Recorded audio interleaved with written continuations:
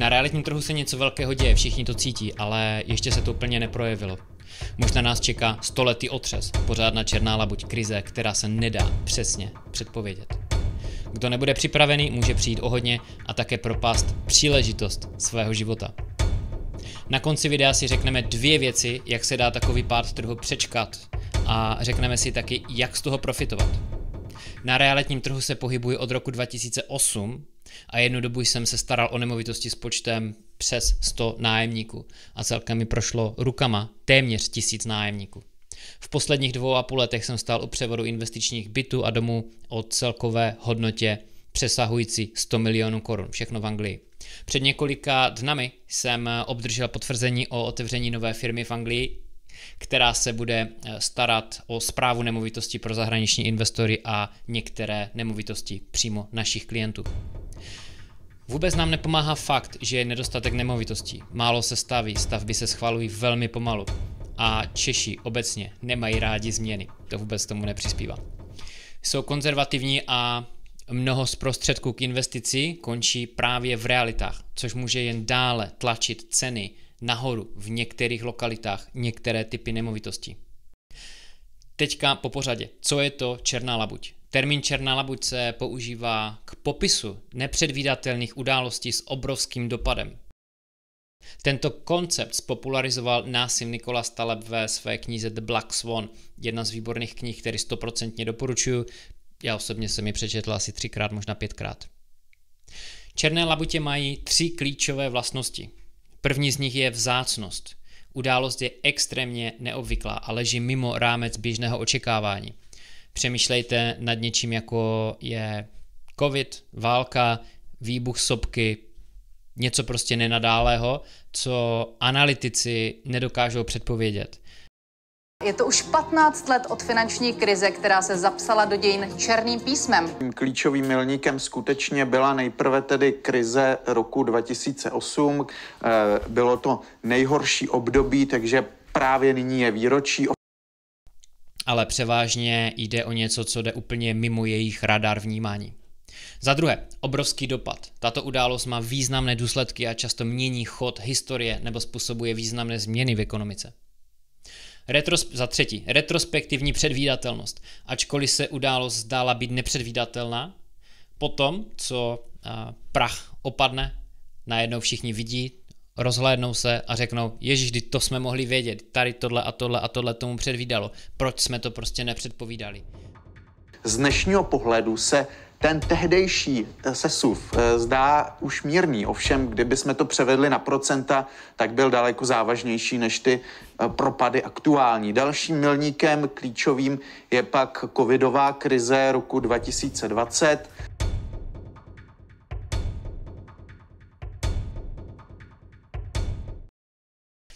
přesně tyhle tři věci jsou součástí nebo charakterizují právě černou labuť. Vzácnost, obrovský dopad a retrospektivní předvídatelnost. Jinými slovy, po bitvě je každý generál. Příklady můžou být finanční krize, teroristické útoky, eh, technologické revoluce nebo přírodní katastrofy, dopady covidu, AI, ekonomické zpomalení světových ekonomik, války, politický převrat, eh, zpřetrhání nějakých logistických řetězů, jak jsme to viděli právě po nedávné krizi, lockdownech, zákaz cestování a podobně. Jakmile to přijde, zahýbe to s celým trhem, možná mnohem silnější jako v letech 2008-2011. Ale říká se, že v té době byl ten hlavní problém pouze odsunut dál. Ten hlavní problém byl pouze odsunut dál, nebyl vyřešený a tím pádem státy, ekonomiky, obecně lidi globálně ho tlačí furt před sebou a čeká se, až přijdeme právě k té skále a najednou se to schodí dolů a celé se to rozpadne. Což samo o sobě ale popírá černou labuť, neboť se o tom strukturálním problému, který tady máme, ví, černou labuť vnímám spíše jako válku nebo covid, a nebo zrovna ten výbuch sopky, anebo teroristický útok, jak byl eh, v roce 2001 na dvojčata ve Spojených státech. What came down though? What came down? The, we crashed. The other trade center's down. It's down. It's down.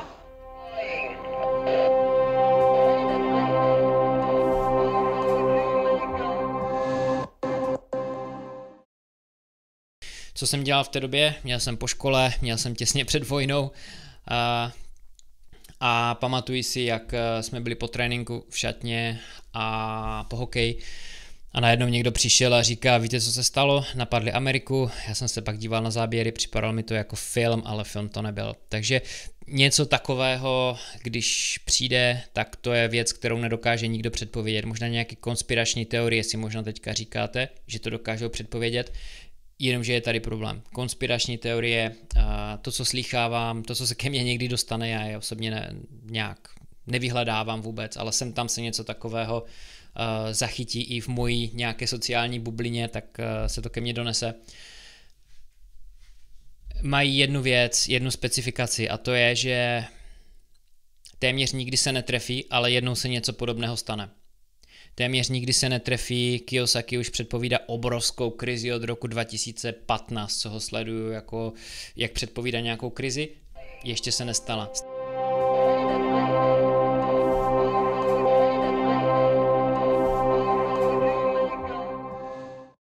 i ten Kiyosaki, který, kterému se předpovi- podařilo něco předpovědět v minulosti, teďka se mu to vůbec, ale vůbec nedaří.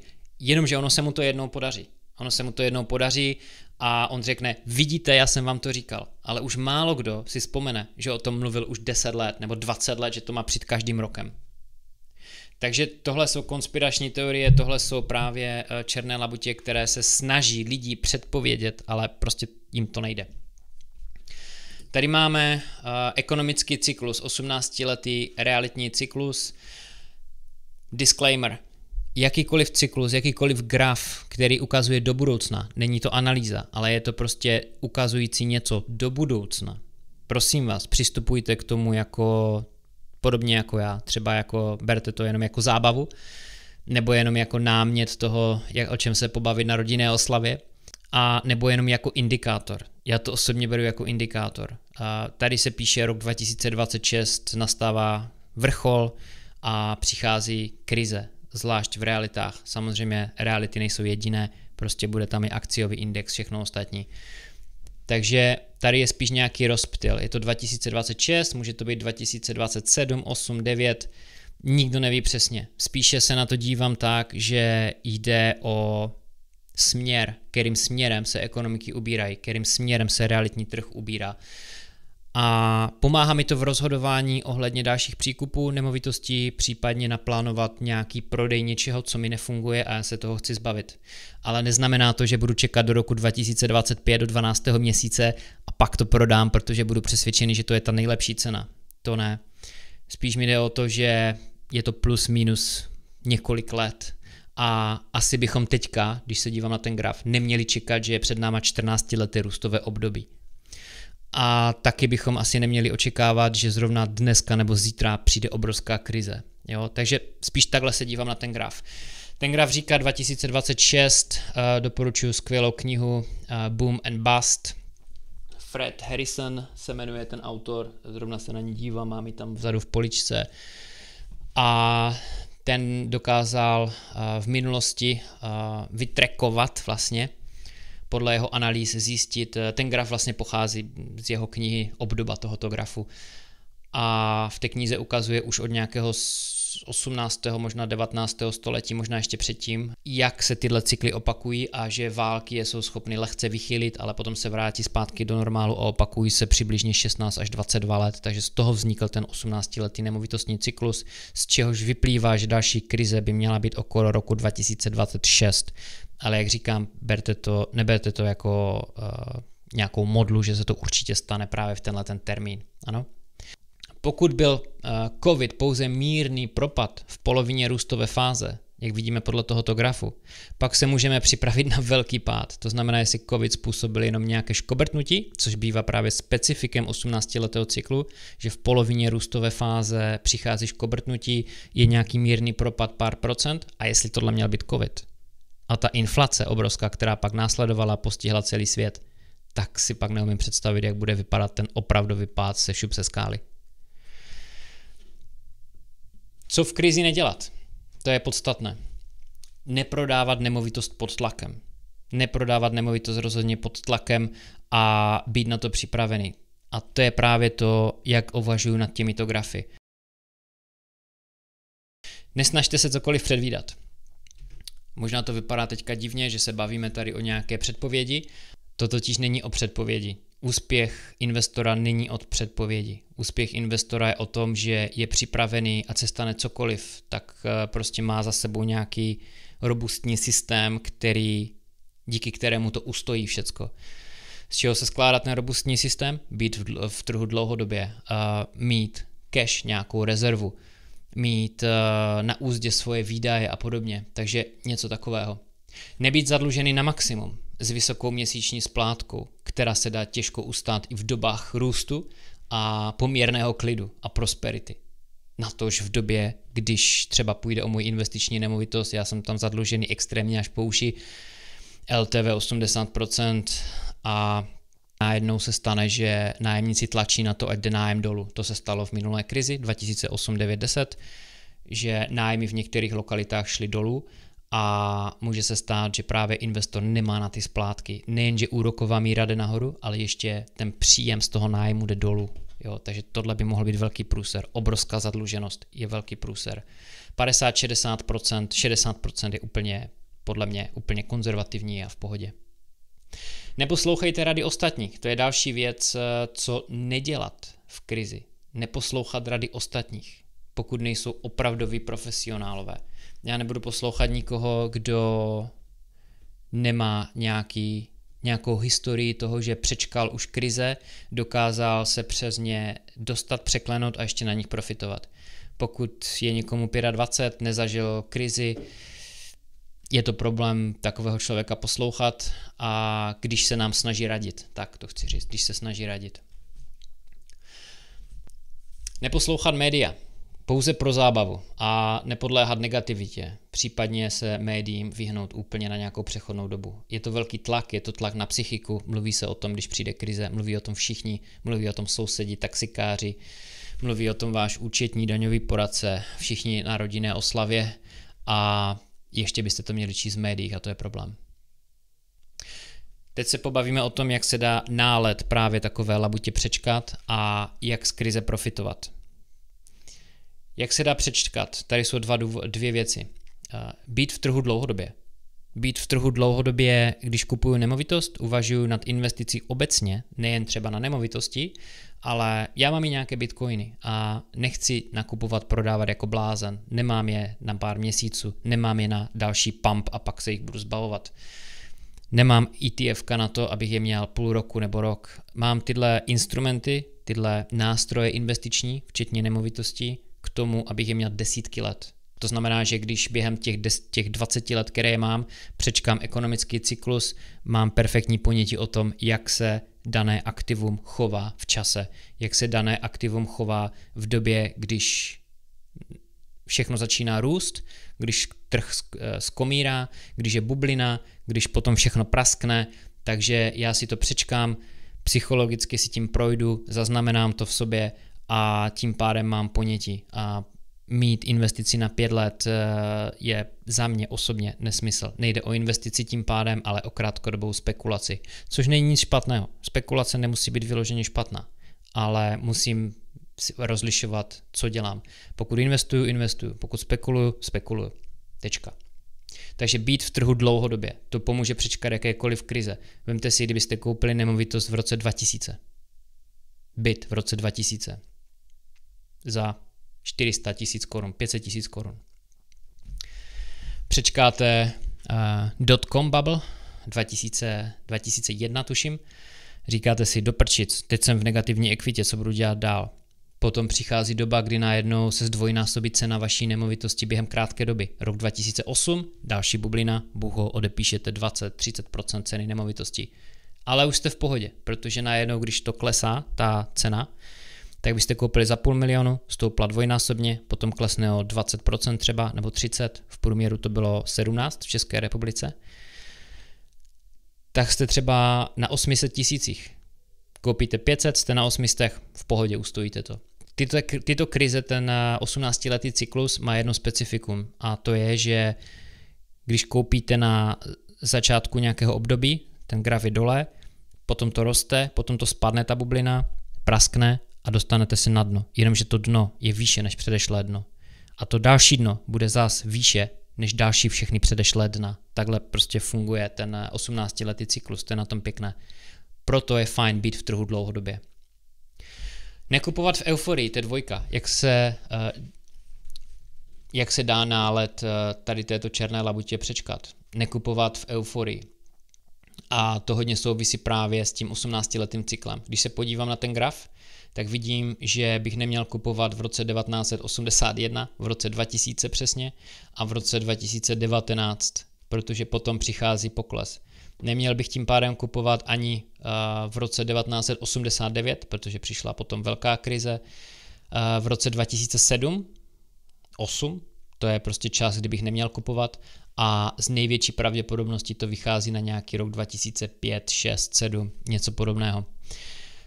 Jak rozpoznat tu krizi, která bude přicházet, když se chystáme právě k bublině a mělo by dojít eh, k, jejím prask, k jejímu prasknutí právě na základě třeba toho, že přiletí černá labuť a hodí do všeho vidle, jo, tak uh, lidi se předhánějí, lidi se předhánějí, kupují úplně všechno. Každý týden slyšíme, jak jsou ceny vysoko, ceny nemovitostí, ceny akcí, ceny úplně všeho prostě rostou do nebes. Lidi se předhánějí na prohlídku běžného bytu, proto je fajn mít zkušenost. Pokud už jste měli x prohlídek za sebou, tak víte, že na prohlídku bytu třeba přijdou 2-3 lidi najednou a najednou jich tam je 15, 7, 10, jo? Dvojnásobně víc, trojnásobně víc. Makléř se s váma nechce ani obírat a ptá, zaobírat a ptá se, jestli máte cash, že upřednostňuje, prodávající upřednostňuje člověka s hotovostí. Což je vždycky, ale tentokrát vám to makléř říká dopředu. Tentokrát vám makléř říká, mm, já mám tady několik lidí před vámi, uvidíme. Volá vám na druhý den a nejistě vám říká, no víte, já tady mám hodně lidí. Čeká na to, že přihodíte víc, anebo si o to řekne hned. Jo? Čeká na to, že byt, byt za 5 milionů, že se prodá za 5,5. Jo? Takže lidi se předhánějí. Takže takhle poznáte, že jsme vkročili do té poslední růstové fáze. To znamená dva roky, možná rok předtím, než něco praskne a než přiletí černá labuť a všechno to úplně dojebe. Takže tohle je jediný způsob, jak se to dá poznat. Kdy to přijde, to prostě neví přesně nikdo. Jak z krize profitovat? Jak z krize profitovat? Dvě věci.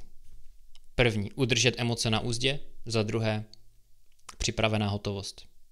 A nebo peníze, kde můžu okamžitě něco, kde se k ní můžu okamžitě dostat. Třeba spořící účet je fajn, nějaké vklady terminované, já nevím, prostě kde do měsíce dostanu peníze zpátky a, a neprodávám něco ze ztrátou, protože v době krize všechno jde dolů, všechno se vypouští, nic není ušetřeno. Bude to podle mě i Bitcoin, bude, budou to pozemky, budou to ETF, budou to akcie nejlepších firm na světě, všechno jde v krizi dolů, proto hotovost je výborná věc. Takže udržet emoce na úzdě, všechny krize jednou pominou, všechno se jednou vrátí k normálu. Ceny počase začínají růst a lidi nestrácejí střechu nad hlavou jen proto, že klesne cena nemovitosti na přechodnou dobu. Když člověk někde bydlí 50 let, tak ta cena klesne na nějakou dobu, tam dva roky, tam rok, tam tři roky, to je úplně v pohodě, na tom se nic neděje. Když máte připravenou hotovost, v těžkých dobách jsou peníze drahé. Banky prostě nechtějí půjčovat. Já jsem kupoval svoji první nemovitost v roce 2012 v Manchesteru a nikomu se moc nechtělo půjčovat, obzvlášť někomu jako mě, kdo nemá zkušenost s nemovitostí vůbec. Z vlastnictví nemovitosti. Takže nejenom, že je negativita, ale banky ani nechtějí půjčovat, takže hotovost je výborná věc, být připravený s balíkem peněz to mi právě přivádí k myšlence, že díky tomu, když je člověk na to připravený, má prostě tu hotovost po ruce, už něco cítí, že se něco děje, to znamená na ty uh, prohlídky klasických prodejů nemovitostí, se, ty se odehrávají jako formou aukce, jo. Ceny nejdou dolů, nedá se smlouvat, ale jdou ještě nahoru.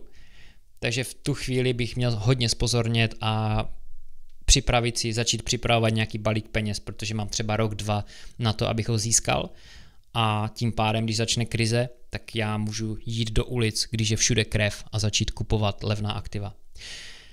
Neznamená to, že musím být připravený ode dne jedna, když začne krize, když přiletí černá labuť. Nemusím. Viděli jsme to začátkem války, viděli jsme to začátkem covidu, lidi se zorientovávají a nechtějí prodávat. V těch prvních ranných, uh, ne hodinách, ale dnech, týdnech Když něco začne, lidi nechtějí prodávat. Oni prostě to aktivum neprodají, i když nemají kupce.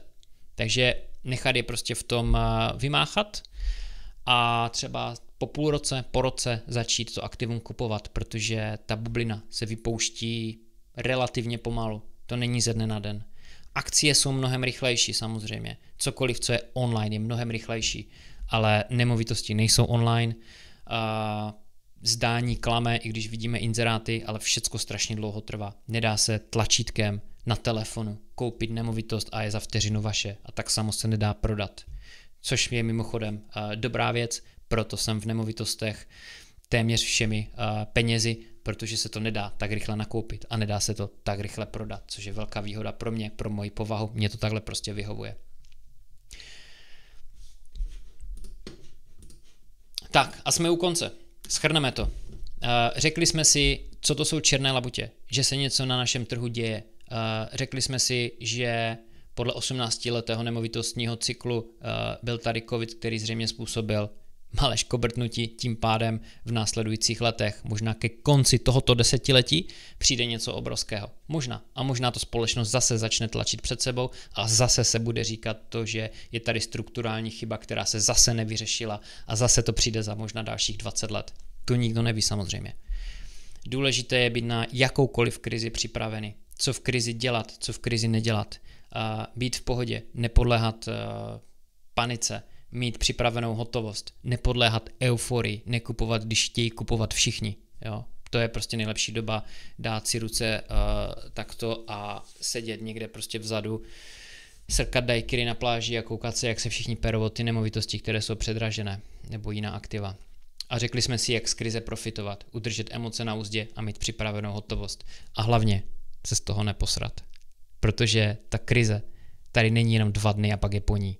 To ne, ona tady je roky. Takže člověk se na to může roky připravovat a pak má několik let na to, aby se v ní zorientoval a prostě koupil něco, co dává velký smysl. Mám tady novou referenci uh, od svého klienta. Jsem rád, že Honza mi dal referenci, je to realitní makléř. Honza Jelínek, realitní makléř. Uh, když jsem hledal partnera pro investici do nemovitostí v Anglii, obrátil jsem se na Adama na základě workshopu a referenci, které mi dávaly smysl. Naše spolupráce byla vynikající. Vše, co bylo domluveno, klaplo. Adamova flexibilita a rychlé reakce na dotazy byly maximální pomocí při koupi domu. Mimochodem, dávám to tady na obrazovku, doštěte si to sami. Jestli se vám líb, video líbilo, víte, co máte dělat. Buďte bohatí, mějte reality, buďte bohatí, díky realitám. Tady je teďka video, ukazuju video, na které se určitě podívejte, protože tohle video se zabývá inflací, což je abnormálně důležité, protože když se připravíte na tady tohle téma, budete připraveni i na černou labuť.